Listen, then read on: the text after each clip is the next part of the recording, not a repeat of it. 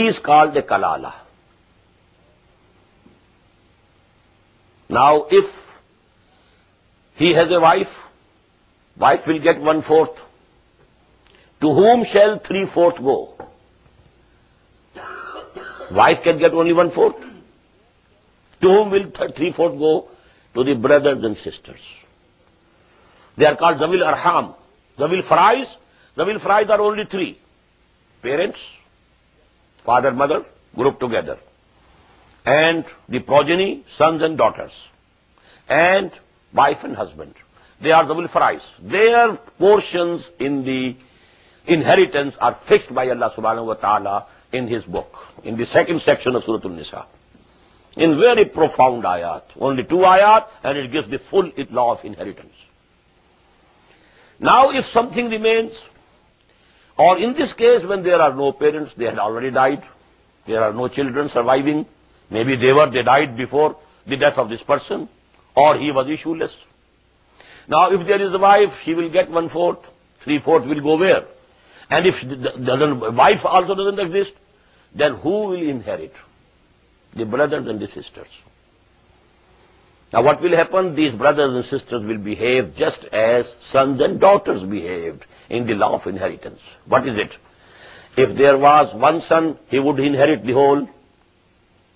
If one daughter, she would inherit half.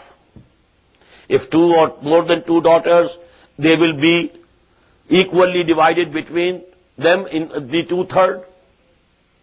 Such law was given in the beginning. And that is the same case for the real brothers and sisters.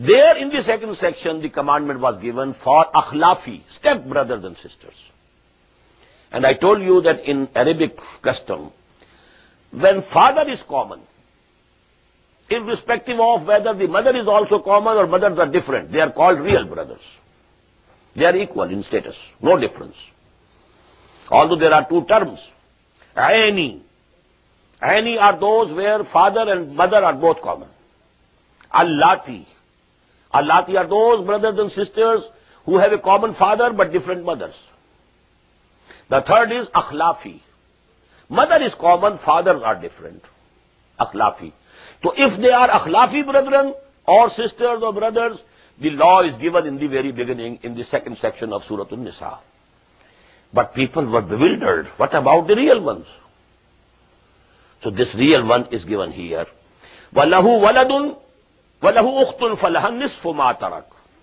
Just as a single daughter could have inherited only half so if a single sister is there real any اور اللہ تی she will inherit only half وہ ہوا یار سوہا علم یق اللہ ولد and if a woman dies without any اولاد without any progeny and parents and he has a she has a brother brother will inherit full whole of it just as the son you know If he was alone, the only son, he would have inherited the whole of it.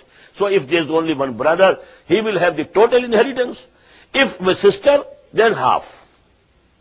فَإِن كَانَتَ سْنَتَيْنِ فَلَهُمَ سُلُسَانِ If they are only sisters and they are two or more than two, then you know they will have two-thirds. مِمَّا تَرَكْ Or whatever he has left.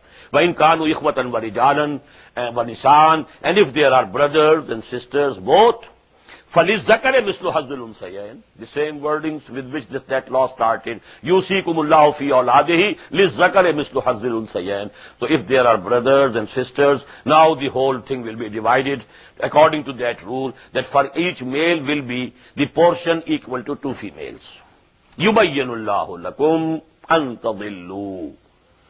اللہ is making it explaining it clearly to you lest you should go astray although you could use it from there also Allah had not gone to detail because you could use your own intellect to understand it but because you couldn't understand it and it may be though might commit mistake so اللہ سبح و تعالیٰ has made it clear that order or commandment or instruction was for اخلافی brothers and sister for اینیز for Allah where Veer father is common the same law will apply as is the law about the sons and daughters انت دلو یو بینک انتدل بک الشعین علیم and where Allah knows everything بارک اللہ علی و لکم فل قرآر علیم و نفا نیا کم بلایا تلکیم اللہ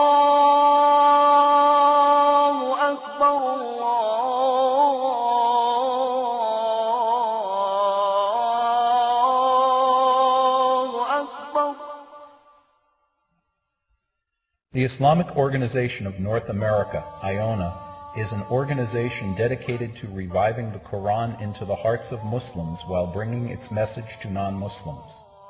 The obligations of a Muslim as ordained by the Quran and Sunnah can be understood as having four levels.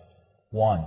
A Muslim is required to develop real faith and conviction, Iman, in one's heart. 2. A Muslim is required to live a life of complete submission to the will of Allah subhanahu wa ta'ala. 3. A Muslim is required to propagate and disseminate the message of Islam to humanity as a whole. 4. A Muslim is required to try his utmost in establishing the just Islamic order. The first and foremost objective of establishing IONA is to assist the Muslims in North America to uphold and implement these obligations first on themselves, their families, inform their friends, and then to invite the non-Muslims to Islam. The ultimate goal is to seek Allah's pleasure and salvation in the hereafter. For more information about Iona, please visit us at www.tanzim.us. You may also email us at info at tanzeem.us or call our toll-free number, 866-779-IONA. Join us. Together we can make a difference.